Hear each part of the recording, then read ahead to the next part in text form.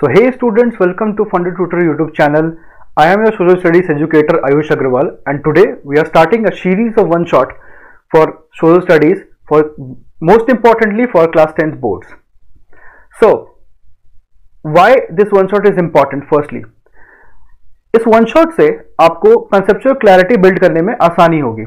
आपकी प्रिपरेशन की स्टेज कोई भी हो, उससे कोई फ़र्क नहीं पड़ता।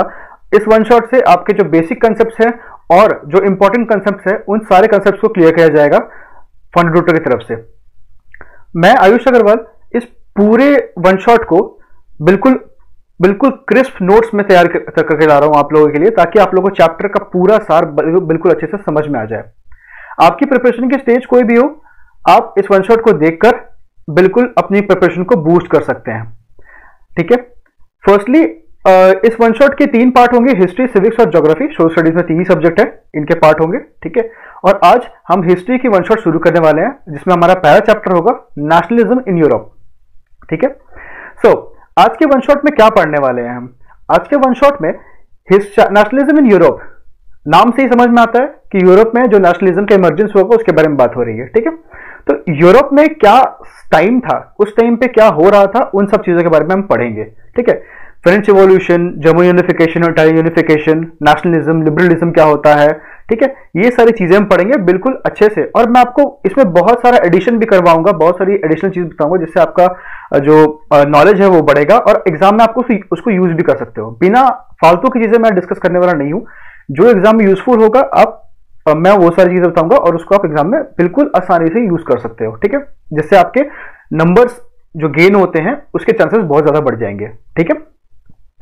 So first of all let's talk about today's one shot and मैंने आपको बताया कि अब हम क्या, हम आज क्या पढ़ने वाले हैं। दूसरी चीज़ ये है कि इस वन शॉट में, इस वन शॉट के बाद क्या होगा कि आपको एक टास्क करना है। इस पूरे वन शॉट को पढ़ने के बाद अब चैप्टर को, जो आपके क्लास नोट्स होंगे, आप उसको रिवाइज करोगे। उसके बाद इस चैप्टर के आप क्वेश्चंस को सॉल्व करोगे, जो आपको किसी वेबसाइट पे या फिर प्रीवियस ईयर क्वेश्चन आपको किसी क्वेश्चन बैंक में मिल जाएँगे। ठीक है? तो ये आपका टास्क रहेगा, बोलना मत। सो so, और एक बात अगर आपको जानना है कि एसएसटी के सोशल स्टडीज़ के जो पेपर होते हैं उसको अटेम्प कैसे किया जाता है और कैसे बिल्कुल अच्छे से बिल्कुल सबसे ज़्यादा नंबर गेन करें ऐसी कौन सी स्ट्रैटेजी जिससे हम डेढ़ महीने में सोशल स्टडीज़ को तैयार करें तो आप हमारा प्रीवियस वीडियो देख सकते हो जो कि इसी चैनल पे अपलोडेड है ठीक है? So let's begin our topic today that is nationalism in Europe first of all students हम लोग बात करेंगे फ्रेडरिक सोरियो की ठीक है? फ्रेडरिक सोरियो कौन थे?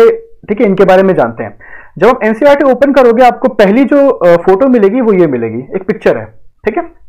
इस पिक्चर के बारे में आपको बताया जाएगा, इसके, इस पिक्चर के बारे में आप पढ़ोगे, ठीक है? फ्रेडरिक सोरियो एक फ्रेंच आर्टिस्ट थे, ठीक है? और इन्होंने सीरीज़ ऑफ़ पेंटिंग्स बनाई थी 1848 में, ठीक है? अब सीरीज़ ऑफ़ पेंटिंग्स क्यों बनाई? बेचने के लिए तो नहीं बनाई होंगी। आप लोगों को लग रहा होगा बेचने के लिए बनाई होगी बट ऐसा नहीं था। क्या, क्यों बनाया था वो देखते हैं। इनका एक ड्रीम था कि जो वर्ल्ड हो, उसमें सोशल डेमोक्रेटिक और रिपब्लिक एलिमेंट्स मौजूद हों। सोशल वर्ल्ड सोसाइटी से आता है, ठीक है? डेमोक्रेटिक का मतलब होता है लोकतांत्रिक और रिपब्लिक का मतलब होता है ऐसा स्टेट मतलब स्टेट का मतलब होता है कंट्री ऐसा कंट्री जहाँ का जो हेड है, वो इलेक्टेड हो, ठीक है? पहले हम जानते हैं कि एंशियंट टाइम्स मतलब कि हिस्ट्री हिस्टोरिकल टाइम्स में क्या था? मोनाकी था डिक्टेटरशिप था, ये सब था, ठीक है? तो आई होप आपको ये सर ये टर्म पता हो मोनाकी डिक्टेटरशिप क्या होता है? मैं बता देता हूँ। मोनाकी का मतलब होता है जहाँ किंग क्वीन का रूल हो। डिक्टेटरशिप का मतलब होता है जहाँ किसी पर्टिकुलर एक सिंगल पर्सन के हाथ में रूल हो। ठीक है? और डेमोक्रेसी का मतलब होता है जहाँ पे एक एस्टैब्लिश गवर्नमेंट हो। ठीक है? जो लोगों के इलेक्शन के कारण बनी हो। ठीक है? उसको बोलते हैं डेमोक्रेसी ठीक है? तो फेडरिक सोरियो चाहते थे कि वहाँ पे एक सोशल डेमोक्रेटिक और रिपब्लिक एलिमेंट्स मौजूद हो वर्ल्ड में। इसलिए उन्होंने सीरीज़ ऑफ़ पेंटिंग्स बनाई थी। सोसाइटी में अवेयरनेस फैलाने के लिए, ठीक है, ताकि लोग अवेयर हो, है ना, कि ये सब चीज़ें हो सकती हैं, ठीक है? इनके बारे में ये बेसिक चीज़ जानते हैं। अब नेक्स्ट चलते हैं हमारे जो मेन मेन कॉन्सेप्ट है उसके ऊपर, ठीक है? दैट इज़ अमेरिकन रिवॉल्यूशन अब आप सोचोगे कि एनसीआरटी में अमेरिकन रिवॉल्यूशन नहीं है। बिल्कुल नहीं है, मैं जानता हूँ। बट क्यों है यहाँ पे? यहाँ पे इसलिए है क्योंकि फ्रेंच रिवोल्यूशन तो आपने पढ़ा है, आपने उसको रट लिया है। सोशल स्टडीज़ कोई ऐसा सब्जेक्ट रखने का सब्जेक्ट है नहीं, एक मिथ है, ठीक है? इस मिथ को तोड़ने के लिए ही फंड आपके लिए इस वन शॉट की सीरीज़ लेकर आया है, ठीक है? यहाँ पे हम पढ़ेंगे अमेरिकन रिवोल्यूशन को सिर्फ़ एकदम बिल्कुल क्रस्ट में जानेंगे क्या है, ठीक है? क्योंकि ये बैकग्राउंड है फ्रेंच रिवोल्यूशन का। ये हुआ, इसके, इसी के कारण फ्रेंच रिवोल्यूशन हुआ। कैसे हुआ, ये मैं कनेक्ट करके आपको दिखाऊँगा, ठीक है? So let's begin French American revolution 1776 से 83 में हुआ था, ठीक है? ये बहुत ही इंपॉर्टेंट इवेंट है और इसमें ब्रिटिशर्स के में लड़ाई हो गई थी, उसके बारे में बताता है, ठीक है? और इससे क्या हुआ था मोनार्की का जो सिस्टम था, जो मोनार्की में बताई क्या होता है, उसका जो सिस्टम था, वो खत्म हो जाता है, ठीक है? उसको एक बहुत पुश मिलता है, ठीक है? वो पीछे हट जाता है उसके कारण, ठीक है? अब इसमें क्या हुआ था ब्रिटिशर्स ने अमेरिका को अपनी कॉलोनी बनाई थी। इंडिया भी ब्रिटिश का कभी कॉलोनी था, ठीक है? और बिल्कुल उसी प्रकार से अमेरिका भी कभी ब्रिटिश का कॉलोनी हुआ करता था, ठीक है?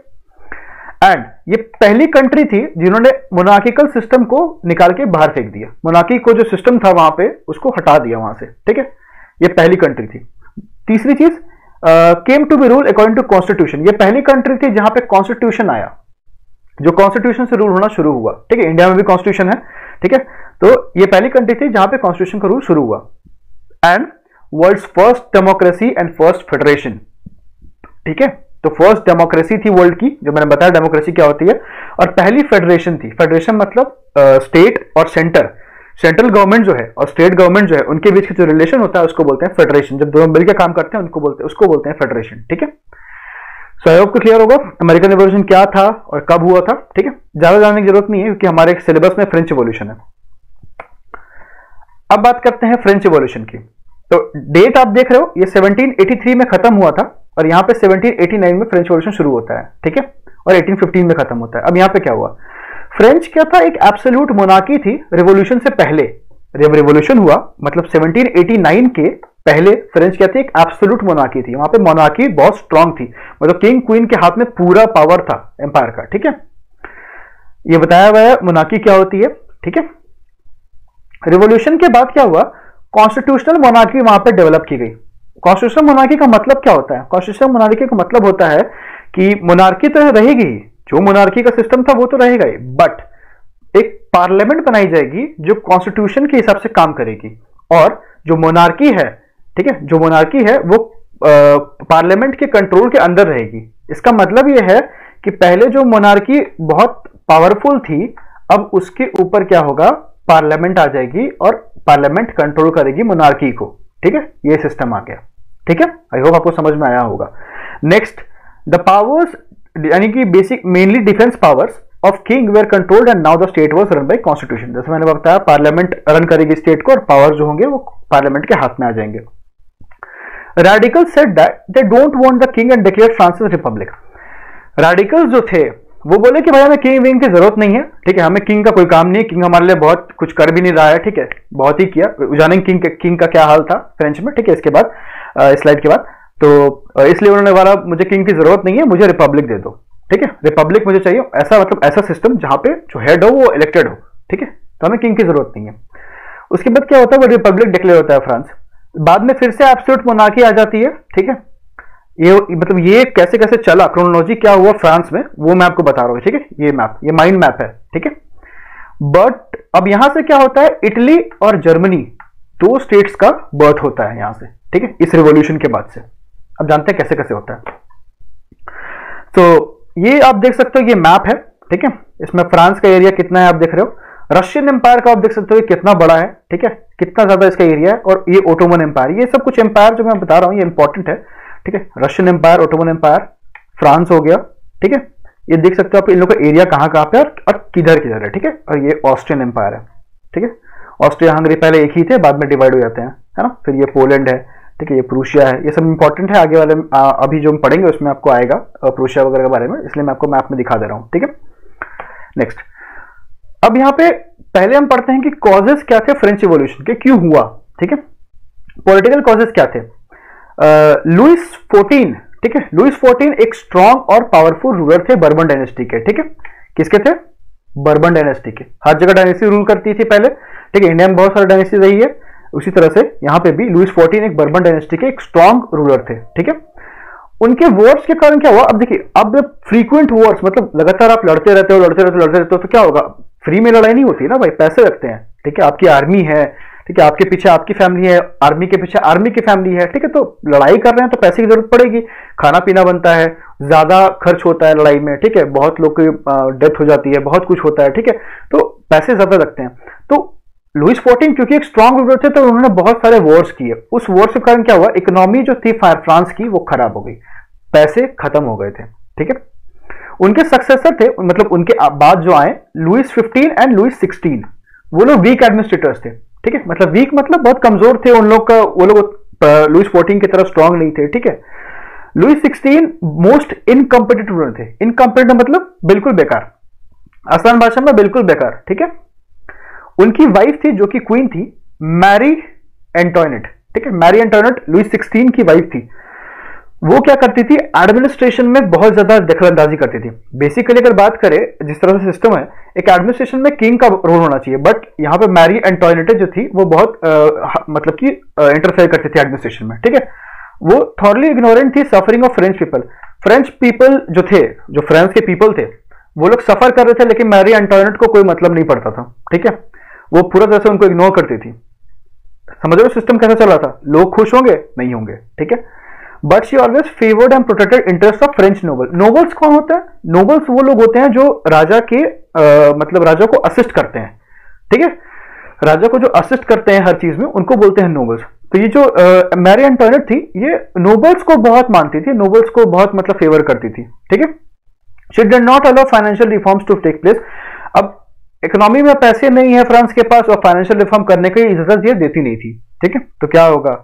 ज़ाहिर सी बात है एम्पायर गिरेगा, ठीक है? तो पहली बात, लोग खुश नहीं थे, आपने देख लिया फाइनेंशियल रिफॉर्म भी आने नहीं दे रही थी। नेक्स्ट सोशल कॉजेस क्या है, ये देखते हैं।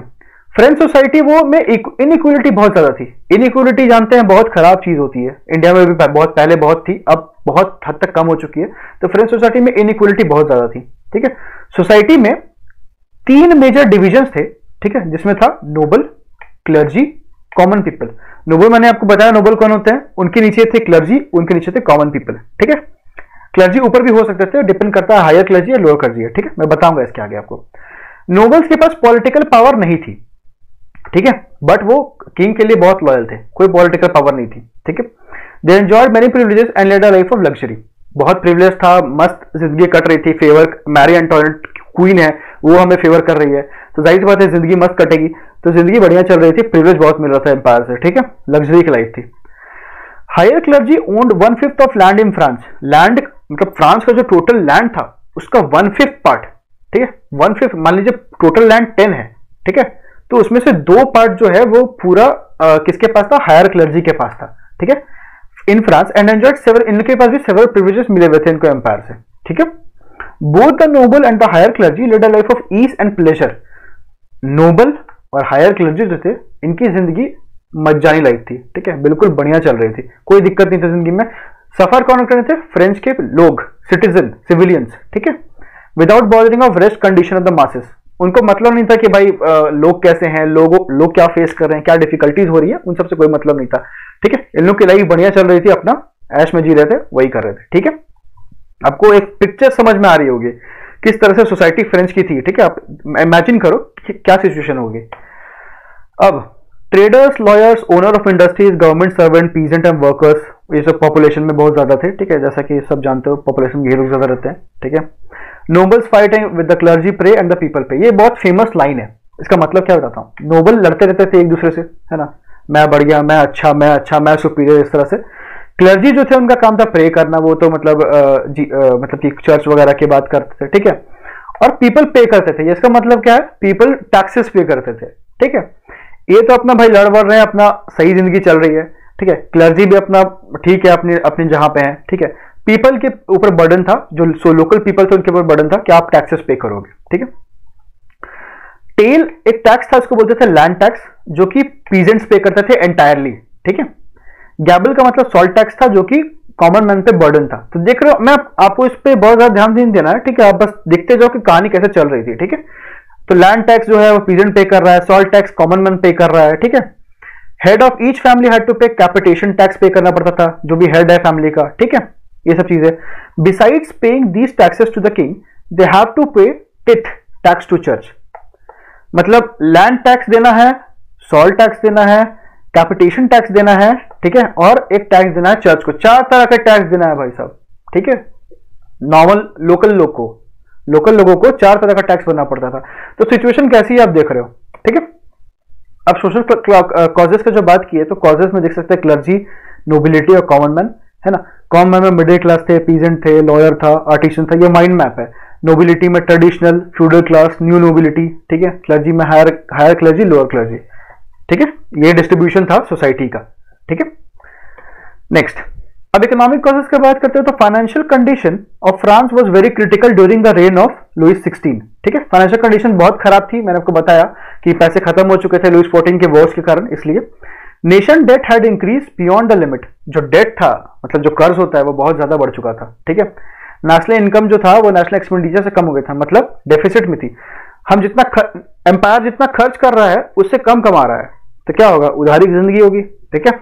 इकोनॉमिक कॉज है ये। फ्रांस का डेट प्रॉब्लम मैंने आप आ, मैंने बताया आपको। फ्रांस का जो वॉर एक फ्रांस क्या हुआ कि सेवन इयर्स वॉर में उसका इन्वॉल्वमेंट था ठीक है जो 1756 से 1763 तक था। सात साल का एक वॉर था जिसमें जो यूरोप यूरोप में हो रहा था उसमें फ्रांस भी इन्वॉल्व था ठीक है। तो उसके कारण क्या हुआ? उसका जो ट्रेजरी था खत्म हो गया था ठीक है। एंड कंट्री जो था वो पार्टिसिपेट किया था अमेरिकन रिवोल्यूशन मैंने आपको अमेरिकन रिवोल्यूशन इसलिए बताया था ठीक है। कंट्री फ्रांस जो था, उसने यहाँ पे पार्टिसिपेशन किया था। यहीं से उसको ये आइडिया वगैरह आया, ठीक है, लोगों को। ठीक है? तो ये सेवन सेवन ईयर्स बोर्ड में उसका पैसा खत्म हो गया था। बात करते हैं फ्रेंच फिलोसोफर का। तो writing and teaching of French philosophers prepare the common people for revolution जैसे मैंने आपको बताया फेडरिक सोरियो क्यों पेंटिंग्स बना रहे थे, ठीक है? ताकि लोगों को अवेयर कर सके। इस तरह से बहुत सारे फ्रेंच फिलोसोफर थे जिन्होंने काम किया ताकि लोगों को अवेयर कर सके। ठीक है? इस सिस्टम के बारे में कि किस तरह से हम हम पे जो है जुल्म हो रहा है। हम चार टैक्सेस पे कर रहे हैं, बाकी सब एंजॉय कर रहे हैं हमारे टैक्सेस पे। गलत बात है ना? The most prominent among them were Montesquieu Voltaire and Rousseau ये तीन फिलोसोफर्स हैं फ्रेंच फिलोसोफर जो कि वर्ल्ड फ़ेमस फिलोसोफर्स है, ठीक है? और सबसे फ़ेमस इस टाइम पे भी यही लोग थे, ठीक है? नेक्स्ट अब आते हैं हमारे कोर टॉपिक में जो कि है फ्रेंच रिवॉल्यूशन ये बैकग्राउंड था, आपने समझ लिया क्यों हुआ फ्रेंच रिवॉल्यूशन ठीक है? रिवॉल्यूशन क्यों हुआ, ये आपको समझ में आ गया होगा। अब देखते हैं क्या हुआ था। फ्रेंच रिवॉल्यूशन 1789 में हुआ और यहाँ से नेशनलिज्म की स्टार्ट हुई नेशनलिज्म स्टार्ट हुआ। नेशनलिज्म मतलब होता है कि अपने देश के प्रति प्रेम की भावना जो होती है, ठीक है? देश के प्रति कुछ भी कर कर जाने की जो भावना होती है, वो यहाँ से जागरूक हुई, ठीक है? रेवोल्यूशनरी से बहुत सारा स्टेप लिया ताकि वो कलेक्टिव आइडेंटिटी क्रिएट कर सके। कलेक्टिव आइडेंटिटी क्रिएट करना क्यों इंपॉर्टेंट था? एक एग्ज़ाम्पल लेते हैं। मैं अगर यहाँ से कोई रिवोल्यूशन शुरू करता हूँ, मैंने अपने कुछ दोस्त जोड़ लिए, कुछ फैमिली मेंबर जोड़ लिए, उससे क्या होगा? ठीक है रिवोल्यूशन हो जाएगा? नहीं होगा। जब तक आपके पास एक मास नहीं है मास का मतलब मास में लोग, बहुत सारे लोग नहीं है, ठीक है, तब तक आप रिवोल्यूशन को स्ट्रांग नहीं बना सकते, ठीक है? उसके लिए आपको एक अच्छा लीडर चाहिए और बहुत लोग चाहिए जो आपको सपोर्ट करे, तब आप एक रिवोल्यूशन कर सकते हो, ठीक है? अच्छे से कर सकते हो। वरना आप रिवोल्यूशन तो डेली होते हैं, कहीं ना कहीं आपको पता भी नहीं चलता है, ठीक है? ये फैक्ट है। उन्होंने इनोवेटिव आइडिया बनाया। ले सियोतोन लापार्ते ले सियोतोन लापार्ते क्या है? फ्रेंच भाषा है भाई, ठीक है? ले सियोतोन का मतलब है द सिटीजन कि हम सब सिटीजन हैं। और लापार्ते का मतलब है कि ये हमारी फादर लैंड है, ठीक है? इंडिया को हम बोलते हैं ना this is our mother land वैसे ही वो बोलते हैं, ये हमारी फादर लैंड है, ठीक है? तो ये सिटीजन मतलब एक दूसरे को बाइंड करने के लिए मासेस को आपस में बाइंड करने के लिए ये चीज़, ये चीज़ें कर रहे थे। वो क्या कर रहे थे वो मैं बता रहा हूँ आपको। उन्होंने फ्रेंच फ्लैग बनाया, नया, ठीक है? पहले क्या था? बर्बन डायनेस्टी का फ्लैग था। अब इन्होंने फ्रेंच फ्लैग बनाया। एक एक कंट्री का फ्लैग ठीक है? Election of national assembly national assembly में क्या हुआ? इलेक्शन हुए पहली बार, ठीक है? और ईस्ट स्टेट जनरल का जो नाम था, उसको चेंज करके क्या कर दिया गया? नेशनल असेंबली कर दिया गया, ठीक है? ये चीज़ें हुई। उसके बाद एडमिनिस्ट्रेटिव सिस्टम को कॉन्सोलिडेट किया गया। है ना? एडमिनिस्ट्रेटिव सिस्टम जो था, उसको ट्रांसपेरेंट बनाया गया, उसको एक साथ ज्वाइन किया गया, ठीक है? ये चीज़। कस्टम्स और इंटरनल ड्यूटी जो थे, उसको एबॉलिश किया गया, ठीक है? जो फालतू के टैक्सेस थे, उनको हटाया गया बेसिकली ताकि लोग जो है, जो सफ़र कर रहे हैं, उनकी सफरिंग थोड़ी कम हो सके। कंप्लीटली तो नहीं बट थोड़ी कम हो सकती थी। यूनिफॉर्म वेट से मेजर्स इंट्रोड्यूस किया गया। ये क्यों किया गया? अभी हम जानते हैं कि हमारे मार्केट में भाई एक किलो लेने जाएँगे तो एक किलो का वो आता है वेट आता है, या फिर अब तो डिजिटल आ गया है तो आप वहाँ से देख सकते हो एक किलो क्या होता है, ठीक है? One one kilogram two kilogram या फिर fifty centimetre hundred centimetre centimetre one metre one kilometre ठीक है? ये सब क्या है? वेट इन मेजर से ठीक है? तो ये सब इंट्रोड्यूस किया गया ताकि यूनिफॉर्मिटी रहे चीटिंग ना हो, ठीक है? सिटीजन जो कंट्री के लोग हैं उन लोगों के साथ। एंड फ्रेंच को एक कॉमन लैंग्वेज बनाया गया। फ्रेंच देखिए लैंग्वेज जो होता है किसी किसी भी रिवोल्यूशन में बहुत अच्छा बाइंडिंग फैक्टर होता है ठीक है? सपोज़ करते हैं आप कल को जाते हो यूएस ठीक है? या फिर किसी और आ, किसी और फॉरेन कंट्री में जाते हो ठीक है? और वहाँ पे आप देखते हो कि मेजोरिटी जो लोग हैं वो वहीं की लैंग्वेज बोल रहे हैं चाहे इंग्लिश बोल रहे हैं ठीक है? और आपको वहाँ पे कोई आप हिंदी बोलने वाला मिल जाए या आप जो जो भी आपकी लैंग्वेज है आपको वो बोलने वाला वहाँ कोई मिल जाए फ्रेंड ठीक है? तो आप चाहोगे कि वो मेरा फ्रेंड बन जाए है ना? क्यों? ये लैंग्वेज है जो हमें एक दूसरे से जोड़ रहा है, ठीक है? इसलिए फ्रेंच जो है वो बहुत कॉमन लैंग्वेज उस टाइम पे बन गई थी, ठीक है? होप आपको फ्रेंच वर्जन समझ में आया कैसे हुआ, क्यों हुआ और क्या हुआ, ठीक है? कैसे हुआ, ठीक है? ये चीज़ें। नेक्स्ट चलते हैं। अब बात करते हैं नेपोलियन बोनापार्ट की, ठीक है? नेपोलियन बोनापार्ट जो थे उनका जो वो फिफ्टीन अगस्त 1769 में अजाशियो में उनका जन्म हुआ था, ठीक है? ये मेडिटेरियन आइलैंड कॉर्सिका एक जगह है, वहाँ की मेडिटेरियन आइलैंड पे बेस्ड है, ठीक है, जगह। तो ये कोई बहुत इंपॉर्टेंट नहीं है। डेट एक बार देख लो फिफ्टीन अगस्त को, ठीक है? और ईयर देख लेना, ठीक है? ऑल्सो नोन इनको नेपोलियन वन भी बोला जाता है, ठीक है? अब French military leader and empire ये एक फ्रेंच मिलिट्री लीडर थे और एक एम्पायर थे, ठीक है? पहले इन्होंने फ्रेंच की जो मिलिट्री थी, जब फ्रेंच रिवोल्यूशन जब हो रहा था, ठीक है? तो उस टाइम पे जो फ्रेंच की मिलिट्री थी, उसको इन्होंने लीड किया था और बाद में ये एम्पायर बन गए थे, ठीक है? बहुत ही एम्बिशियस रूलर थे। एम्बिशियस का मतलब होता है कि बहुत ही इच्छावादी, ठीक है? मतलब मुझे ये चाहिए तो चाहिए, ऐसा, ठीक है? इस टाइप से, है ना? उन्होंने यूरोप का अच्छा खासा जो पार्ट था उसको मतलब कैप्चर किया हुआ था। नाइनटीन सेंचुरी का बात करते हैं तो। नाइनटीन सेंचुरी का मतलब होता है सेवनटीन हंड्रेड से एटीन हंड्रेड ठीक है? सॉरी एटीन हंड्रेड से नाइनटीन हंड्रेड ठीक है? He became the emperor in eighteen four eighteen four में वो क्या होते हैं? फ्रांस के एम्पर बन जाते हैं। इनका जो डेथ होता है वो फाइव में 1821 में होता है आइलैंड ऑफ़ सेंट हेलेना में, ठीक है? ये हो गया छोटा सा नेपोलियन बोनापार्ट के बारे में थोड़ा सा बायोग्राफी टाइप का, ठीक है? छोटा सा इंट्रोडक्शन बात करते हैं नेपोलियन बोनापार्ट का राइज कैसे हुआ? कैसे मतलब एक आर्मी लीडर से वो बन गए एम्पायर उससे भी पहले वो क्या थे वो जानते हैं। Napoleon rapidly rose through the ranks of military during the French revolution पहले इन्होंने ज्वाइन किया था मिलिट्री में, फिर धीरे धीरे करके राइज हुआ, इनका प्रमोशन होता है प्रमोशन हो रहा था, ठीक है फ्रेंच रिवोल्यूशन में। He is considered the stand of famous French revolution इनको बोला जाता है कि फ्रेंच रिवोल्यूशन का आ, मतलब जन्म है इनका। मतलब समझे कि इस पर्टिकुलर रिवोल्यूशन कारण नेपोलियन का जन्म हुआ था। किसी रीजन से हुआ था। ठीक है ये चीज़ बोलना बोला जा रहा है। एज ए यंग लीडर उन्होंने बहुत सपोर्ट किया जैकोबिन को। जैकोबिन क्लब क्या था? जैकोबिन क्लब वो सीक्रेट क्लब था जो फ्रेंच जो रेवोल्यूशनरी से वो लोग बना रहे थे ताकि रेवोल्यूशन कर सके। तो इन्होंने बहुत सपोर्ट किया था जैकोबिन को। ठीक है far left political movement and most well known and popular political club from the French revolution ठीक है? वही चीज़ मैंने आपको बताई। He fought in the French revolutionary wars ठीक है? ये फ्रेंच रिवोल्यूशनरी वॉर्स में लड़े मैंने आपको बताया।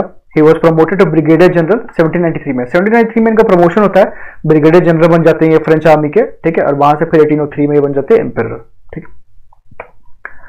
जब नेपोलियन पावर में आया तो उन्होंने नेपोलियनिक कोड को आ, मतलब आ, आ, वो नेपोलियन कोड लाए। नेपोलियनिक कोड क्या था? नेपोलियन ने क्या किया कि फ्रांस की डेमोक्रेसी को डिस्ट्रॉय किया था। ठीक है?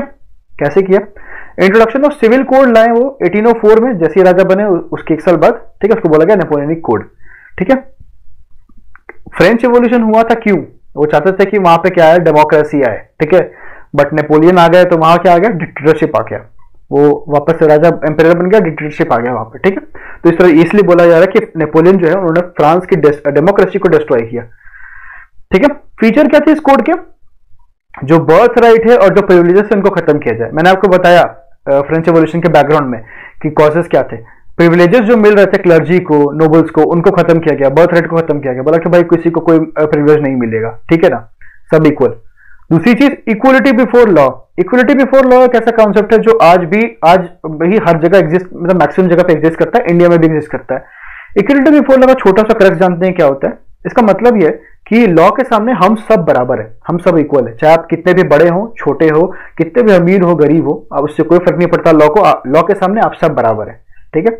तो ये होता है इक्वलिटी बिफोर लॉ तो इन्होंने एस्टेब्लिशमेंट करवाया इक्वलिटी बिफोर लॉ का, ठीक है? पार्लियामेंट में मतलब कि अंपायर में। Security of right to property अब ये राइट टू प्रॉपर्टी क्या है? ठीक है? राइट टू प्रॉपर्टी का मतलब है कि जो प्रॉपर्टी आपकी है, वो आपकी ही रहेगी और जो जो स्टेट है, यानी स्टेट का मतलब कंट्री होता है, जो जो मतलब एम्पायर है, आपसे आपको वो जो राइट ऑफ़ प्रॉपर्टी वो नहीं छीनेगी। ठीक है? ये चीज़ बोली गई। उसके बाद गाइल्ड डिस्ट्रिक्शन वॉज़ रिमूव्ड ठीक है? पहले क्या था? गाइल्ड का मतलब क्या होता है, ये जानते हैं। किसी भी, अगर आप कोई भी काम कर रहे हो, ठीक है? मान लो कि आप कोई बिज़नेस करते हो किसी चीज़ का, और आपके जैसे और बहुत सारे लोग हैं जो इस चीज़ का बिज़नेस करते हैं तो आप लोग की जो यूनिटी होगा मतलब आप लोग का जो यूनियन होगा ठीक है? यूनियन मतलब एक टीम होगी या फिर ग्रुप होगा, उसको बोलते हैं गाइड ठीक है? Guide of merchants guide of traders ठीक है? कोई भी पर्टिकुलर काम करने वाले लोगों का ग्रुप जो होता है, उसको बोलते हैं गाइड तो गाइड पे जो रिस्ट्रिक्शन थे, उसको हटा दिया गया था. तो नेपोलियनिक कोड में ये सब चीज़ें हुई थी. ठीक है? सो अब मूव करते हैं आगे. तो आप देख रहे हो कैसे कैसे शुरू हुआ सब चीज़. अमेरिकन रिवोल्यूशन हुआ पहले. ठीक है? अमेरिकन रिवोल्यूशन हुआ, उसके बाद फिर उसी उसी से इंस्पायर होकर फ्रेंच रिवोल्यूशन हुआ. अब उसके बाद फिर नेपोलियन का राज आ गया, ठीक है, नेपोलियन फिर बन कैसे बने वो मैंने बताया, कैसे राइज हुआ उनका वो मैंने बताया आपको, ठीक है। फिर उन्होंने नेपोलियनिक कोड लॉन्च किया, ठीक है। और फिर कैसे फ्रांस की जो डेमोक्रेसी की जो ये था, वो खत्म हो गया, ठीक है। वो मतलब खत्म नहीं हो सकता, बोलते पॉज हो गया, ठीक है, ऐसा बोल सकते हैं, ठीक है। ये चीज़ हुई, ठीक है। अब जानते हैं, अब चलते हैं नेक्स्ट इसके बाद क्या हुआ। अब नेपोलियन जब थे तो इस टाइम पे क्या हुआ कि मिडिल क्लास का इमरजेंस हुआ, ठीक है। यूरोप में इंडस्ट्रियलाइजेशन चल रहा था। इंडस्ट्रियलाइजेशन का मतलब होता है कि डेवलपमेंट का प्रोसेस बहुत तेज़ी से बढ़ रहा था। हर जगह इंडस्ट्रीज़ खुल रहे थे, ठीक है? जो छोटे छोटे गाँव हैं, उनका डेवलपमेंट हो रहा था, वो सिटीज़ बन रहे थे, ठीक है? और इंडस्ट्रियलाइजेशन से एम्प्लॉयमेंट जनरेशन हो रही थी, लोगों को नौकरियाँ मिल रही थी, लोग गाँव से शहरों में जा रहे थे, ठीक है? इस तरह से सब चीज़ें हो रही थी, है? पिक्चर विज़िट कर पा रहे हो? कैसे कैसे हो रही थी, है ना? इंडस्ट्री सेटअप होगी तो जॉब मिलेगा लोगों को, लोग गाँव से छोड़ के शहर जाएँगे, वहाँ पे जॉब करेंगे, इस तरह से सब चीज़ें हो रही थी। तो पॉलिटिकली और सोशली बात करें तो अरिस्टोक्रेट डोमिनेंट थे अरिस्टोक्रेट कौन होता है? अरिस्टोक्रेट का मतलब होता है इलीट क्लास मतलब जो सोशली थोड़ा हाई क्लास होते हैं, उनको बोलते हैं अरिस्टोक्रेट ठीक है? और ये डोमिनेंट थे। लेकिन अगर पॉपुलेशन की बात करें तो पीजेंट्स डोमिनेंट थे। पॉपुलेशन बात करें, ठीक है? तो पीजेंट डोमिनेंट थे और बाकी ऐसे सोसाइटी की बात करें तो अरिस्टोक्रेट डोमिनेंट थे। Since industrialisation in England new social class known as working class was emerge ठीक है? जैसे मैंने आपको बताया इंडस्ट्रियलाइजेशन हुआ, ठीक है? तो क्या हुआ कि वर्किंग क्लास इमर्ज हुआ। वर्किंग सोशल क्लास एक नया सोशल क्लास बना उसको बोला गया वर्किंग क्लास मतलब जो काम करते हैं, उनको बोलते हैं वर्किंग क्लास ठीक है? इनमें कौन कौन होते हैं? आर्टिसंस जो हैंडीक्राफ्ट का काम करते हैं इंडस्ट्रियलिस्ट ठीक है? बिजनेसमैन वगैरह वगैरह चीज़ें। तो समझ आएगा कैसे मिडिल क्लास ग्रो किया, है ना? कैसे वर्किंग क्लास आया, है ना? अब नेक्स्ट चलते हैं। अब एक कॉन्सेप्ट आता है लिबरलिज्म का। ये क्या होता है? लिबरलिज्म दो वर्ड से बनता है लिबरल और नेशनलिज्म से। इन दोनों को जब मर्ज किया तो लिबरलिज्म बना, ठीक है? लिबरल का मतलब होता है छूट देना फ्रीडम टाइप का आप बोल सकते हो इसको, ठीक है? लिबर्टी है ना? और नेशनलिज्म का मतलब मैंने आपको बताया देश प्रेम वगैरह, ठीक है? तो जानते हैं यहाँ क्या हुआ लिबरलिज्म का मतलब यहाँ पे बुक में क्या दिया हुआ है? प्रॉपर्टी ओनिंग में जिन लोगों के पास प्रॉपर्टी है, उनके पास राइट टू वोट था। मतलब अगर आपके पास प्रॉपर्टी है तो आप वोट कर सकते हो, आप इलेक्शन में खड़े भी हो सकते हो। लेकिन अगर आपके पास प्रॉपर्टी नहीं है तो आप इलेक्शन में खड़े भी नहीं हो सकते, आप वोट भी नहीं कर सकते हो, ठीक है? ये सिस्टम चल रहा था उस टाइम ठीक है? कोई दिक्कत नहीं। वुमेन के स्टेटस के बारे में बात करें अगर वुमेन के, कि वुमेन का स्थिति उस टाइम पे क्या था? तो वुमेन को ना ही वोटिंग राइट्स थे, ना ही इलेक्शन में खड़े होने का राइट्स था। तो ये सब राइट उनको नहीं मिलता था। कोई पॉलिटिकल राइट वुमेन एंजॉय नहीं करती थी, ठीक है? ये चीज़ था। मतलब प्रॉपर्टी लेस मैन जिसका प्रॉपर्टी नहीं है, और जो वुमेन है, उनके लिए कोई पॉलिटिकल राइट्स अवेलेबल नहीं थे। ठीक है? तो ये ये सब चीज़ें उस टाइम पे हो रही थी। ठीक है? तो क्या ये लिबरलिज्म का कॉन्सेप्ट है? नहीं है। मतलब जो गवर्नमेंट है, वो लिबरल नहीं है। वो छूट नहीं दे रही है, वो फ्रीडम नहीं दे रही है किसी को। है ना? ये चीज़ है। लिबरलिज्म इसलिए इंपॉर्टेंट था, वो मैं आपको बता रहा हूँ, ठीक है? क्यों लिबरलिज्म का कॉन्सेप्ट एमर्ज हुआ, कैसे एमर्ज हुआ? तीसरी चीज़ लिबरल कैसे बना? रूट लाइबर वर्ड से, जो कि एक लैटिन वर्ड है, इसका मतलब होता है फ्री मैंने आपको बताया। अब क्लरिकल प्रिविलेज जो क्लर्जी को क्लर्जी क्लास को जो प्रिविलेज मिल रहा था सोसाइटी में ठीक है? और जो ऑटोक्रेसी थी ऑटोक्रेसी का मतलब होता है सिंगल मैन रूल उसको बोलते हैं ऑटोक्रेसी ठीक है? उसके लिए लिबरलिज्म को आ, को ज़िंदा रखना ज़रूरी था क्योंकि लिबरलिज्म नहीं आएगा तो इन लोगों को जो प्रिविलेज है उसको कैसे हटाया जाएगा? कैसे लोगों को भी राइट्स मिलेंगे उनके? कैसे लोग फ्रीली मतलब आ, सारे कुछ कर पाएँगे जैसे अभी करते हैं? वैसे कैसे हो पाता उस टाइम पे? इसलिए लिबरलिज्म कॉन्सेप्ट रखना ज़रूरी था ठीक है? समझ गए? नेक्स्ट अब द न्यू कंजर्वेशन आफ्टर 1815 देखो, हमने स्टार्ट किया था 1763 से आई गेस है ना? हमने स्टार्ट किया था अमेरिकन रिवॉल्यूशन से। है ना? 1776 से सॉरी ठीक है? यहाँ से हमने स्टार्ट किया था। और अब हम आ गए हैं, चलते चलते कहाँ पे? 1815 में। 1815 में क्या हुआ था? फ्रेंच रिवॉल्यूशन एंड हो गया था। ठीक है? अब यहाँ देखते क्या हुआ। मेजर यूरोपियन पावर जो थी 1815 में कौन कौन थी? Britain Russia Prussia, Austria. ये क्या थी मेजर यूरोपियन पावर्स थी, ठीक है? ये चार, ब्रिटेन, रशिया, प्रूशिया, ऑस्ट्रिया। इनने क्या किया कि इन्होंने नेपोलियन को डिफीट कर दिया, ठीक है? इन्होंने नेपोलियन को हरा दिया। नेपोलियन 1803 में आए थे, है ना? 1815 में नेपोलियन हार जाते हैं। They use to meet in Vienna to drop European यहाँ पर ट्रीटी ऑफ़ वियना होता है बेसिकली नेपोलियन के हारने के बाद। नेपोलियन जब हार जाते हैं 1815 में तो इन चारों पावर्स के द्वारा ठीक है अगेंस्ट में ब्रिटेन था रशिया था प्रूशिया था और ऑस्ट्रिया था। इसको याद कैसे कर सकते हैं? देखो इनिशियल से ना बी आर पी ए ठीक है? इससे हम कोई वर्ड बना लेते हैं। जब भी आपको इस तरह से कुछ भी मिले तो आप इससे कोई वर्ड इनिशियल से वर्ड बनाने की कोशिश करो तो आपको याद आ जाएगा क्या था ठीक है? जैसे आ, इसको हम लोग लिख सकते हैं BRAP B R A P BRAP ठीक है? आप, आप अपने हिसाब से कोई वर्ड बना सकते हो। जैसे हमने जब याद किया था तो हमने इसको ब्रैप बोला था। ठीक है? BRAP defeated Napoleon. ठीक है? British Russia Austria, and Croatia BRAP. ठीक है? तो इस तरह से नेपोलियन को डिफीट कर दिया। अब यहाँ पर ट्रीटी ऑफ़ वियना होती है है ना? अब सोच रहे होगे एक बात और कि यहाँ पे डेट्स कैसे याद करें? इतने सारे डेट्स हैं हमारे पास। ठीक है? तो डेट्स को याद करने के लिए मैंने आपको एक बहुत ही प्रो टिप दी है हमारे वीडियो में। जो मैंने जिसमें मैंने आपको बताया कि सोशल स्टडीज़ में ज़्यादा नंबर कैसे स्कोर करें, ठीक है? तो वो आप देख लेना, आपको उसमें पूरा कंसेप्ट मिल जाएगा। सोशल स्टडी से जितने भी डाउट्स होते हैं या दिक्कतें होती हैं, वो आपकी सॉल्व हो जाएँगे उस वीडियो से आई गारंटी दिस ठीक है? एंड अब बात करते हैं ट्रीटी की। तो ट्रीटी ऑफ़ वियना में क्या हुआ कि पावर जो है वो बर्बन डायनेस्टी को वापस दे दी गई। मैंने आपको बताया कि बर्बन डायनेस्टी थी फ्रांस फ्रांस में, ठीक है? लुइस लुइस फोर्टीन है ना? तो बर्बन डायनेस्टी को वापस से पावर दे दिया गया नेपोलियन के हारने के बाद। दूसरी चीज़ Napoleonic wars France lost all territories मतलब जितने भी टेरिटरीज फ्रांस के पास थे, नेपोलियन के वॉर के कारण क्या हुआ? फ्रांस सारी टेरिटरी हार गई। ठीक है? अब ये, इसकी मैं एक पिक्चर दिखाता हूँ आपको। देखो यहाँ पे। ये बेसिकली इस पिक्चर में क्या है कि नेपोलियन को दिखाया गया है। ठीक है? और ये उनके बैग में लेटर्स है। लेटर्स का लेटर्स क्या है? ये फ्रांस की टेरिटरीज है। नेपोलियंस नेपोलियन क्या करे वॉर, लड़के आ रहे हैं और देखो सारे जो लेटर्स है वो होते जा रहे हैं। मतलब टेरिटरीज लॉस्ट होते जा रही है। ये इस पिक्चर में दिखाया गया ठीक है? नेक्स्ट अब हम बात कर रहे थे हाँ सॉरी अब हम बात करते थे हाँ तो यहाँ पे थर्ड क्या हुआ? थर्टी नाइन स्टेट थे जर्मन कन्फेडरेशन के, जो कि नेपोलियन ने फॉर्म किए थे, उनको नहीं छुआ गया, उनको वैसे के वैसे रहने दिया गया, ठीक है? और फ्रेंच बाउंड्री पे क्या गया? बॉर्डर बना दिया गया। अब सपोज़ करो आप कोई लैंड खरीदते हो, ठीक, कहीं पे भी, कोई प्लॉट खरीदते हो तो आप क्या करते हो, उसकी बाउंड्री कर देते हो जल्दी जल्दी कि भाई ये ये पर्टिकुलर एरिया मेरा है, ठीक है? यहाँ पे कोई दूसरा नहीं आ सकता। तो उस टाइम पे क्या था कि टेरिटोरियल एक्सपेंशन का जो कॉन्सेप्ट था बहुत ज़्यादा था। हर कोई चाहता था कि मेरा टेरिटरी एक्सपैंड करे। हम दूसरे दूसरे जो देश है, उसको भी अपने अंदर ले ले। वो बगल की ज़मीन अपने अंदर ले लेते हैं। ठीक है? इस तरह से। ठीक है? ये सब चीज़ें। तो उस टाइम पे ये बहुत ज़्यादा था। तो इन जो पावर पावर्स थे ब्रैप ये ब्रैप पावर ने क्या किया कि फ्रांस की बाउंड्री सेटअप कर दी। है ना? मतलब कि बोल दिया कि भाई तुम्हारा इतना ही बाउंड्री रहेगा, इससे से ये जो स्लाइड देख सकते हो आप तो ये ये जो बाउंड्री है मेरी तो इससे बाहर आप नहीं जाओगे, इससे बाहर आप एक्सपैंड नहीं करोगे, ठीक है? आपको इतने में ही सीमित होकर रहना है, ये कहा गया, ठीक है? तो ट्रीटी ऑफ़ वियना में क्या हुआ मैंने आपको बताया? कैसे नेपोलियन हार गए? नेपोलियन के हारने से क्या क्या हुआ? ठीक है? और किसने हराया? ब्रैप ने, ठीक है? नेक्स्ट अब यहाँ पे एक एज ऑफ़ रिवोल्यूशन आता है। 1830 से 1848 जो था, वो एज ऑफ़ रिवोल्यूशन था। इसमें बहुत सारे रिवोल्यूशन हुए थे। ठीक है, इसलिए इसको एज ऑफ़ रिवोल्यूशन बोलते हैं। रिवोल्यूशन किसने लीड किए थे? एजुकेटेड मिडिल क्लास ने। ठीक है लिबरल नेशनलिस्ट अब देखो, आप, अगर आप पढ़े लिखे हो, अगर आप अगर आप पढ़े लिखे नहीं हो तो आप कोई रिवोल्यूशन कर पाओगे? आपको रिवोल्यूशन के बारे में क्या नॉलेज रहेगा? रिवोल्यूशन क्यों करते हैं? जब हमें पता चले कि जो पर्टिकुलर चीज़ सालों से हुई, होती आ रही है सोसाइटी में, या फिर कोई चीज़ जो सोसाइटी में हो रही है, वो गलत है, उसके अगेंस्ट उसको खत्म करने के लिए रिवोल्यूशन किया जाता है, ठीक है? तो जब आपको, आप पढ़े लिखे नहीं हो, आप एजुकेटेड नहीं हो तो आपको कैसे पता चलेगा कि जो चीज़ हो रही है, वो गलत हो रही है हमारे साथ? ये जो चीज़ हो रही है, हमारा ऑपरेशन हो रहा है मतलब ऑपरेशन का मतलब कि हमें एक्सप्लॉइट किया जा रहा है, कैसे पता चलेगा? जब आप पढ़ोगे, आप जानोगे, आप समझोगे, तब।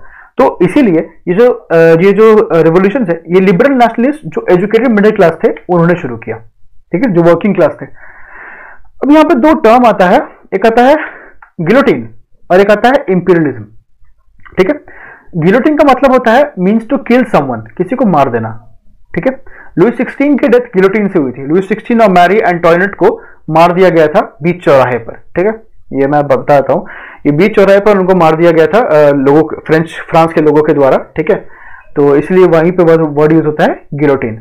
और इंपीरियलिज्म का मतलब होता है जब एक कंट्री दूसरे कंट्री को कैप्चर करती है, ठीक है? And dominating country is political control on capture country मतलब सपोज़ कीजिए कल को इंडिया ने किसी एक्सवाइजेड कंट्री पे कैप्चर कर लिया, मैं जानते में बात करो तो उस पर कैप्चर कर लिया, ठीक है? अगर कर लिया, उसके बाद फिर वहाँ पे जो इंडियन गवर्नमेंट है वो अपना कंट्रोल वहाँ पे पॉलिटिकल कंट्रोल एस्टेब्लिश कर दे ठीक है? तो उसको क्या बोलेंगे? इंपीरियलिज्म बोलेंगे ठीक है? तो ये दोनों ये दो वर्ड्स हैं ठीक है? ये आप देख सकते हो किस तरह से रिवोल्यूशन के लिए हो रहा था ये जो लोग हैं रिवोल्यूशन कर रहे हैं ठीक है? ये दिखाया गया इस पिक्चर में आप एनसीआरटी e खोलना उसमें आपको और क्लियर दिखेगा पिक्चर ठीक है? Next romantic imagination national feeling ठीक है? बुक में था तो मैंने ले लिया आ, वैसे ये पढ़ने वाली चीज़ खुद से है बट मैं बता देता हूँ क्या है ठीक है? यहाँ पे क्या हुआ कि नेशनलिज्म डेवलप हुआ, ठीक है? अब देखो डेवलपमेंट ऑफ़ नेशनलिज्म सिर्फ़ वॉर से नहीं होता है है ना? मतलब आप लड़ाई करो बहुत ज़्यादा देश के लिए तो उससे सिर्फ़, उससे नेशनलिज्म नहीं होता, सिर्फ़ सिर्फ़ उससे नहीं होता होता है, उससे होता है बट सिर्फ़ उससे नहीं होता है, ठीक है? या फिर अगर आप किसी टेरिटरी को अपने अंदर ले लो तो सिर्फ़ उससे नेशनलिज्म नहीं होता है। कल्चर भी बहुत इंपॉर्टेंट रोल प्ले करता है नेशनलिज्म में। हमारा जो कल्चर है इंडियन कल्चर ठीक है? हम तो हमें नेशनलिज्म हमारा जो नेशनलिज्म है वो कल्चर से बिल्कुल जुड़ा हुआ है, ठीक है? तो इसलिए कल्चर भी बहुत इंपॉर्टेंट रोल करता है, आप इस तरह समझो उसको, ठीक है? रोमांटिक आर्टिस्ट जो थे और जो पोएट्स थे, ठीक है? उन्होंने ट्राई किया कि वो एक कलेक्टिव बींग मैंने आपको बाहर कहा कि लोगों को कलेक्टिव बनाने में इन लोग का मेन मतलब फोकस था तो ताकि लोग जो है, वो कलेक्टिव हेरिटेज को देखे एक जैसा, ठीक है? उस सेंस को क्रिएट करने के लिए ये लोग बहुत सारा काम किए। जो पोएट्स थे, जो रोमांटिक आर्टिस्ट थे, उन्होंने बहुत सारी पेंटिंग बनाई।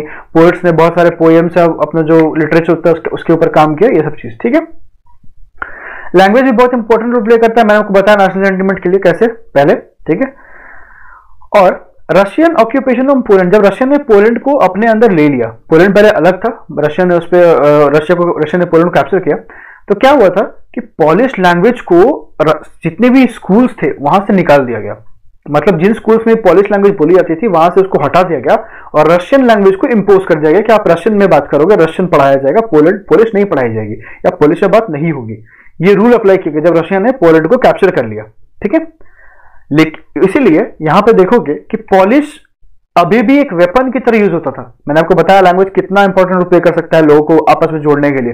तो पॉलिश लैंग्वेज को किसी ने जो आ, मतलब जो वहाँ के जो लोग थे उन्होंने जो मतलब जो जिसमें नेशनलिज्म में फीलिंग थी उन्होंने पॉलिश लैंग्वेज को खत्म नहीं होने दिया। उन्होंने पॉलिश लैंग्वेज को एज अ वेपन यूज़ किया कि हम रशियन डोमिनेंस को खत्म कर सकें। ठीक है? अपने लोगों को यूनाइट करके रशियन का जो डोमिनेंस है पोलैंड के ऊपर उसको खत्म कर सकें। तो इस तरह से सिचुएशन थी ठीक है? तो ये चीज़ें हैं। अब बात करते हैं कि जो रिवोल्ट होते थे, ये जो रिवोल्यूशन पढ़ा हमने, वो रिवोल्ट क्यों होते थे? क्यों रिवोल्ट हो रहे थे? अचानक से मतलब नेपोलियन तो खत्म हो गया था बर्बन डायनेस्टी आ चुकी थी। तो रिवोल्ट क्यों हो रहे थे? पहला तो मैंने आपको बताया कि क्या सोसाइटी का क्या सीन था, किस तरह से सोसाइटी चल रही थी, ठीक है? अब अब यहाँ थोड़ा सा और डीप में देखते हैं उसको। First half of nineteen century की बात करें मतलब 1850 से 1900 की बात करें तो पॉपुलेशन बहुत इंक्रीज हुई थी पूरे यूरोप में। पॉपुलेशन बहुत ज़्यादा बढ़ गई थी, ठीक है? पॉपुलेशन क्या होता है रूरल एरिया से? सिटीज़ में आ रहा था। मैंने आपको बताया, काम के लिए, अच्छी लाइफस्टाइल के लिए। अभी भी हम लोग जाते हैं, गाँव से शहरों में जाते हैं, काम के लिए, अच्छी लाइफस्टाइल के लिए। वैसे भी उस टाइम भी रूरल से लोग जाते थे सिटी में कि भाई जॉब मिलेगी, है ना? एम्प्लॉयमेंट मिलेगी। तो क्या हुआ कि अब ऐसा नहीं होता ना कि आप सीधे गाँव से शहर जाओ, आप वहाँ बड़ा सा थ्री के फ्लैट ले लो, ऐसा नहीं चलता ना, ऐसा ऐसा कैसे होगा? पहले काम करोगे, कुछ दिन, कुछ टाइम काम करोगे, मेहनत करोगे, तब ना कुछ वहाँ पे खरीद सकोगे। ऐसे भी वहाँ तो बहुत एक्सपेंसिव होता है। तो लोग क्या करने लगे, वो लोग ओवर क्राउडेड स्लम में रहने लगे। सो उनमें से कुछ लोगों का सपना था कि मतलब इटली जो है वो यूनिफाई हो जाए अच्छे से, ठीक है? और मिडिल क्लास का भी कुछ मिडिल क्लास भी लोग चाहते थे कि इटली यूनिफाई हो जाए ठीक है? First half of nineteen century में मतलब अप टू 1848 तक ठीक है? अमंग द लेटर मतलब लेटर का मतलब क्या होता है? ये जो मिडिल क्लास है ये लेटर है और इसको बोलते हैं फॉर्मर मतलब लेटर फॉर्मर का मतलब होता है जिसका जिसके बारे में पहली बात की जाए उसको, उसको फॉर्मर बोलते हैं फिर बाद में बात की जाए उसको लेटर बोलते हैं। तो अगर अमंग द लेटर मतलब मिडिल क्लास वे मेन रिटायर्ड आर्मी ऑफिसर इनमें बहुत सारे रिटायर्ड आर्मी ऑफिसर थे जिन्होंने नेपोलियन के साथ लड़ाई की थी। जब नेपोलियन थे तो नेपोलियन के टाइम में जो फ्रेंच आर्मी थी, उसमें ये लोग आर्मी ऑफिसर रहे होंगे और इन लोगों ने लड़ाई की होगी। अभी रिटायर हो चुके थे, क्योंकि टाइम भी देख लो 1848 हो चुका है। नेपोलियन 1803 में था, ठीक है? पचास साल अब हो चुके हैं। ठीक है? 1820 तक these groups had found secret societies अभी जो रिटायर्ड आर्मी ऑफिसर थे, इन लोगों ने क्या किया? सीक्रेट सोसाइटीज बनाई। ठीक है? 1820 में। जिसमें से सबसे बड़ा अगर बात करें तो वो कौन था? कार्बोनरी ये याद रखना कि इटालियन यूनिफिकेशन के दौरान जो सीक्रेट सोसाइटी बनी थी, उसको बोलते हैं कार्बोनरी सबसे बड़ी सीक्रेट सोसाइटी थी, वो कार्बोनरी थी। ठीक है? नेक्स्ट अब 1820 में क्या हुआ? कार्बोनी ने रिवॉल्यूशन को स्पीयर किया। स्पीयर का मतलब लीड किया। देखो स्पीयर का मतलब होता है जैसे एक, एक भाला होता है ना भाला है ना? उसके आगे देखते हो एक आ, मतलब होता है पॉइंटेड टाइप का ठीक है? उसको बोलते हैं स्पीयर ठीक है? तो कार्बोनरी ने स्पीयर्ड किया रिवोल्यूशन को ठीक है? In the kingdom of two Sicilies in the kingdom of Sardinia ठीक है? अब यहाँ पे दो चीज़ें हैं। किंगडम ऑफ़ टू सिसिलीज था और किंगडम ऑफ़ सार्डिनिया था। सार्डिनिया पिगमेंट आपने सुना होगा ठीक है? दोनों जगह पे। तो यहाँ पे कार्बोनरी ने रिवोल्यूशन को स्पीयर्ड किया ठीक है?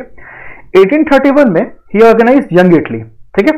यंग इटली का ऑर्गेनाइजेशन होता है ठीक है? यंग इटली बनती है ठीक है? यंग इटली का फॉर्मेशन किसने किया था? ये आप, आपको मैं बताऊँगा पर आप, अगर आपको पता है तो कमेंट करना अभी तुरंत ठीक है? तो he organise Young Italy to spread the ideals of nationalism ठीक है? ही छोड़ दो अभी बताऊँगा मैं। यंग इटली जब यंग इटली को ऑर्गेनाइज किया ताकि आइडियल्स ऑफ़ नेशनलिज्म को स्प्रेड कर दिया किया जा सके ठीक है? एक मतलब सोसाइटी बनाई जाती थी इसमें सोसाइटी को दिया जाता कि भाई तुम्हारा एजेंडा हमारा एजेंडा ये हमें ये करना है और सोसाइटी के लोग सोसाइटी में फैल जाते थे ठीक है? उस सोसाइटी के लोग जो लो, लोगों में मतलब कि फैल जाते थे और अपना जो आइडिया जो एजेंडा उसको लोगों में फैलाते थे ठीक है? And republicanism to Italian people republicanism मतलब इलेक्टेड हेड होना चाहिए जहाँ पे, ठीक है? उसका जो आइडिया है वो लोगों तक पहुँचाए, इस सोसाइटी का ये काम था, ठीक है? पेपल स्टेट्स की बात करते तो वहाँ पे एक लिबरल पोप था। पोप मतलब कौन होता है हेड ठीक है? एक हेड था लिबरल पोप बोलते हैं उसको। उसका नाम था पायस नाइन ठीक है? पायस नाइन को 1846 में इलेक्ट किया गया था, ठीक है? And amnesty was proclaimed for political offenders political exiles were permitted to return ठीक है? पॉलिटिकल ऑफेंडर्स या पॉलिटिकल एग्जाइल्स थे, उनको परमिट किया परमिट किया गया कि आप वापस रिटर्न कर सकते हो, ठीक है? हम आपको कुछ नहीं करेंगे, ठीक है? फ्रीडम ऑफ़ प्रेस इंट्रोड्यूस किया गया था। देखो freedom of press introduce press बहुत इंपॉर्टेंट रोल प्ले करती है यार, ठीक है? किसी भी नेशनलिज्म अगर आपको जगाना है, अगर कोई रिवोल्यूशन करना है तो प्रेस बहुत इंपॉर्टेंट रोल प्ले करती है। प्रेस से क्या होता है, आप ज़्यादा से ज़्यादा लोगों तक बहुत कम टाइम में पहुँच सकते हो, ठीक है? इंडिया में भी हुआ था ये चीज़ तो यहाँ पे भी देख रहे हो फ्रीडम ऑफ़ प्रेस हुआ, ठीक है? Highest government office were open to lay people ठीक है? ऑफ़िस गवर्नमेंट ऑफ़िस खोल दिया गया पीपल को ताकि पीपल वहाँ से uh, आ सके। Consultative chamber was created to suggest new reforms एक चेंबर बनाया गया कि आपके पास अगर कोई आ, uh, कोई अगर एटफर्स्ट कोई आइडिया है तो आप उसे सजेस्ट कर सकते हो ठीक है? तो यूनिफिकेशन ऑफ़ इटली में देखो कैसे हो रहा था है ना?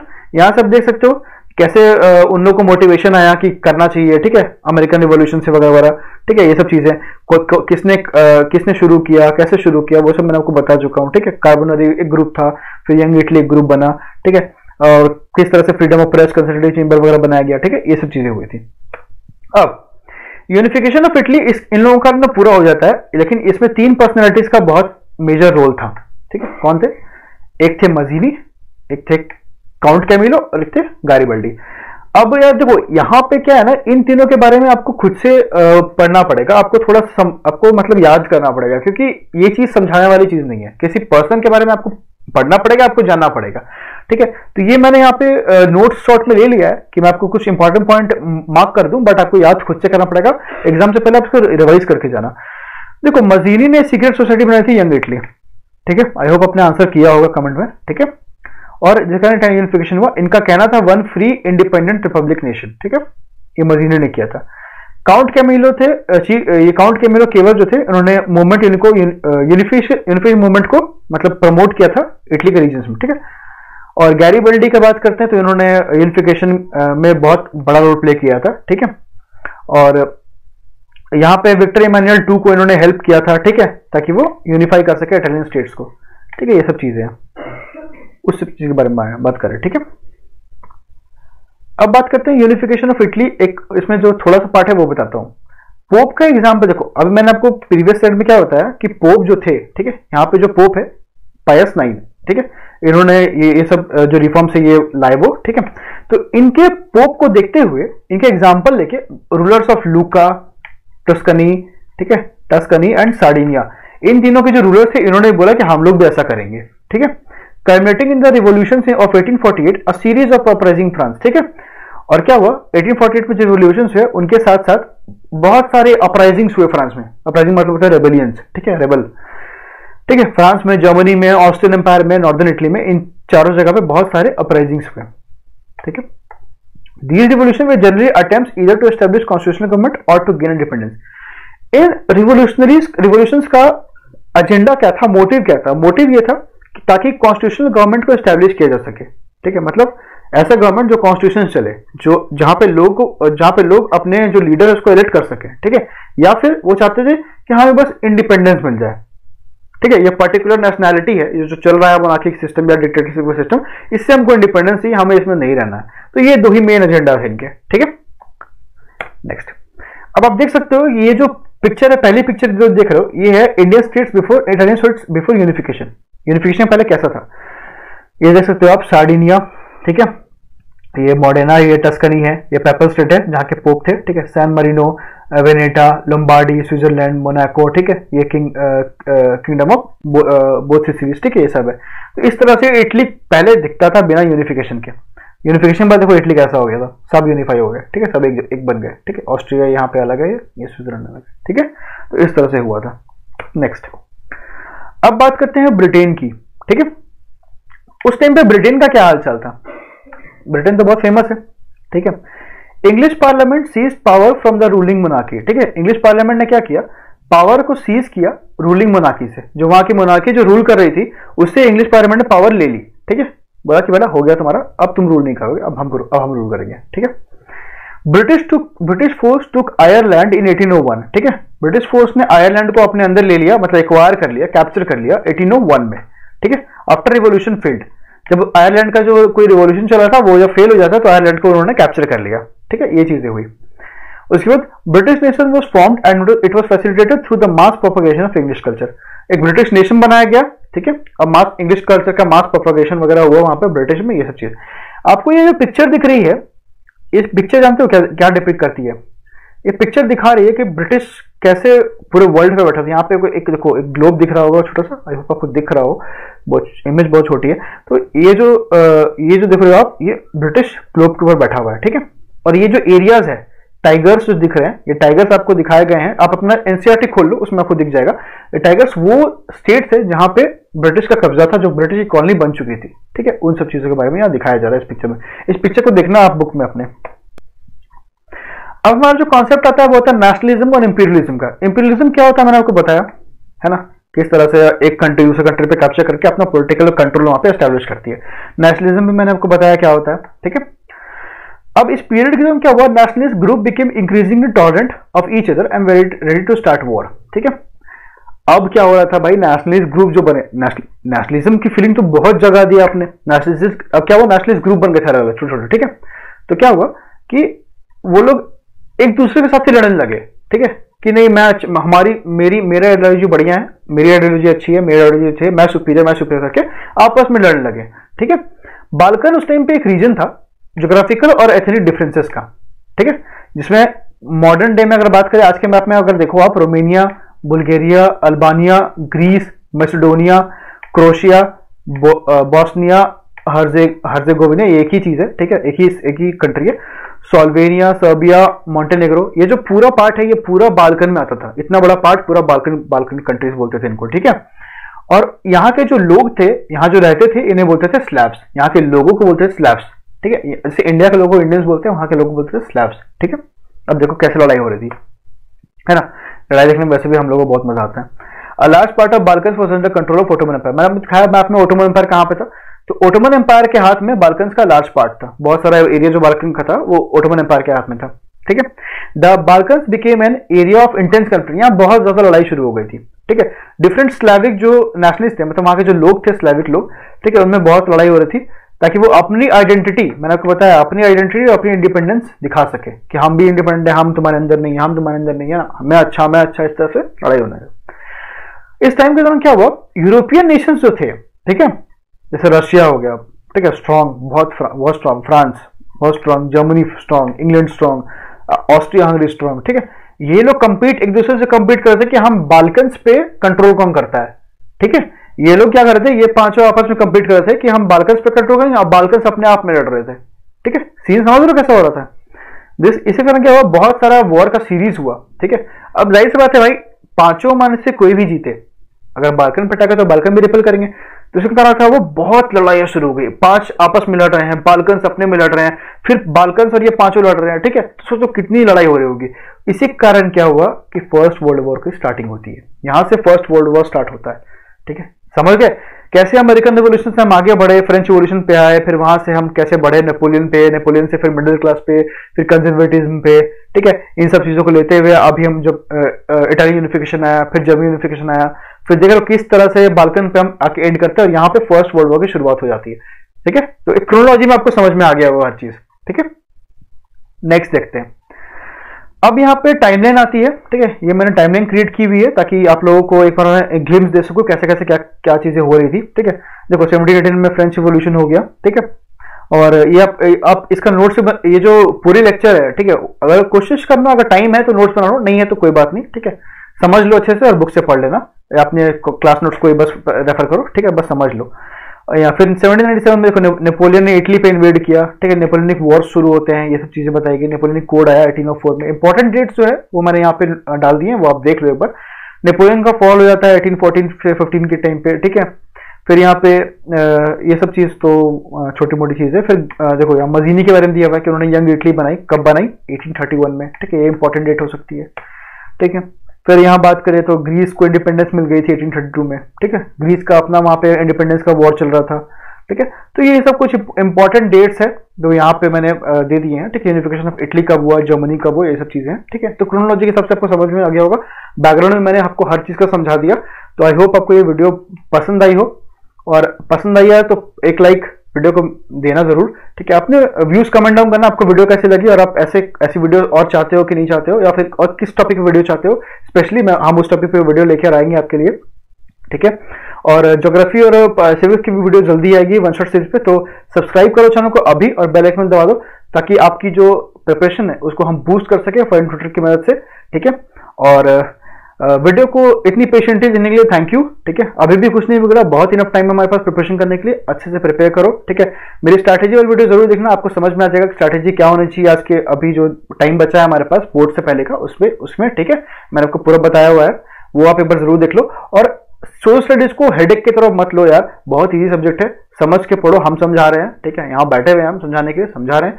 हमें देखो, समझो और पढ़ो, और नोट्स अपने जो क्लास नोट्स उसको फॉलो करो, बस, चिंता करने की ज़रूरत नहीं है फन है ना So thank you so much and have a nice day.